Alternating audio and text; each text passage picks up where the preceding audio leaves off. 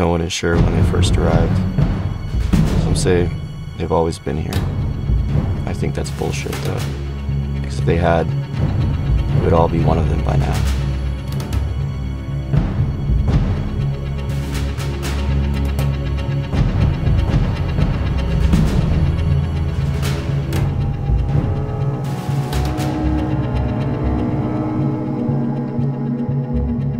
What makes it so easy for them to convert regular humans into leecher drones? It's simple. Incentives. Massive incentives. Hi, I'm Linda Davis, and I make 30 minute meals. No, it's the front end that we have to worry about. That's why we brought the kid in. Soon you will be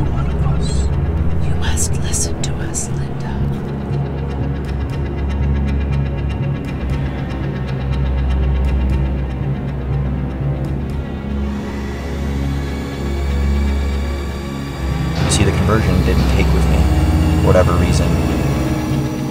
But I was partially converted. Are you picking up a signal from one of the others now? Yes, sir. I'll have the report on your desk this afternoon. Come on! Come on!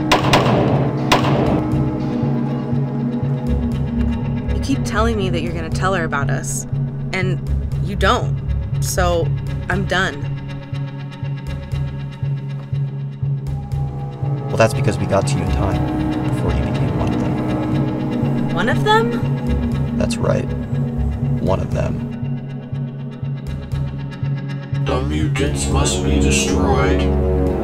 There is no stopping until they are destroyed. Ah, here we are now. God, this is really way too much. Well, what else is a girl to do around here?